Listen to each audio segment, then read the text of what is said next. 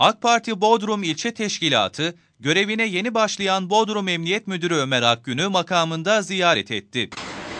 sivil toplum kuruluşları, partiler, siz değerli başkanlarım, bizim için çok kıymetli o destek. Çünkü Ziyarete AK Parti Bodrum İlçe Başkanı Yılmaz Algül ve yönetim kurulu üyeleri katıldı. Ziyarette konuşan Algül, Bodrum'a yeni atanan Ömer Akgün'e hoş geldiniz ziyaretinde bulunduklarını söyledi. Müdürümüz e, göreve başladı. Bodrum'umuza hayırlı uğurlu olsun. Bodrum'da güvenlik anlamında hiçbir sorunun kalmayacağına inandığını ifade eden Algül şöyle konuştu. Kendisini ziyarete geldik. Yürütmedeki arkadaşlarımla beraber.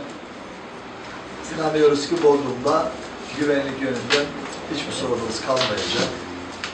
Onun için müdürümüze görevinde başarılar, hatta daha çok yükselme diliyoruz. Bodrum İlçe Emniyet Müdürü Ömer Akgün ise görevi devraldıklarını ve kendisinden sonrakilere de bu bayrağı teslim etmek için çalışacaklarını ifade ederek ziyaretten dolayı AK Parti yönetimine teşekkürlerini iletti. Eskiden müdürler genelde